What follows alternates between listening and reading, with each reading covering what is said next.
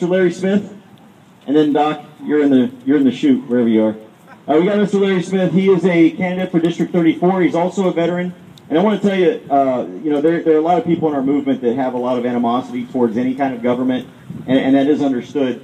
But what you need to understand is that there are people in our government that are oath keepers, and an oath keeper is a is a person who signed up, took that oath, like myself, joined the military, and is absolutely committed to defending the Constitution and the people of the American country, and we would never turn our guns on an American citizen if ever ordered to do so.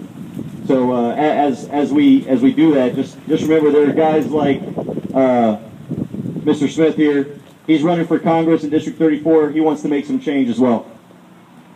Thanks a lot, Jim. All right, I got some questions for you. How many Democrats we got here? We got a Democrat. How many Republicans we got here? All right. How many Americans? How many Americans do you have here?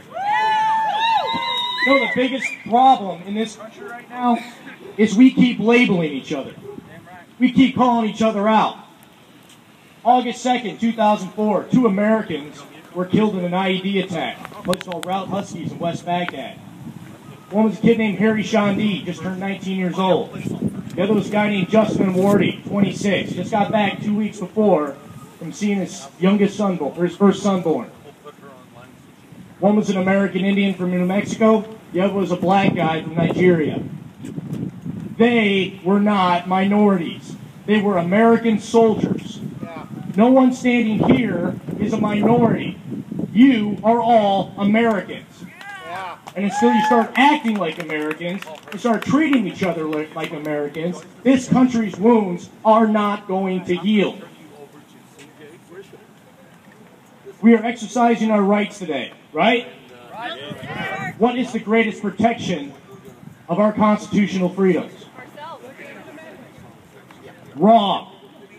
Exercising our right. Exercising your right to what? Vote. Vote. You can arm yourselves all you want with M16s and AR-15s and bazookas for all I care. But if you are not registered and actively voting to prevent bad policy in this country from being scattered into our conservative communities in our successful conservative states, then you are hurting this country. You are showing up to battle without your gun, and you are a useless soldier. You, right here, right now, need to go back to where you came from Dallas, San Antonio, Austin, East, West Texas and tell people, are you, ask them, are you registered to vote? And if they're not, say you need to.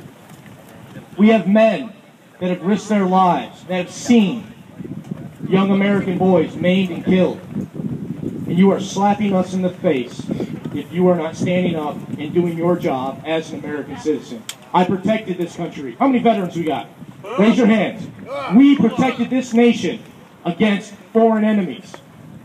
It is up to us as citizen soldiers to protect it against bad domestic policy. My name is Larry Smith, and I'm a congressional candidate for the 34th Congressional District of Texas. Thank you very much for your time.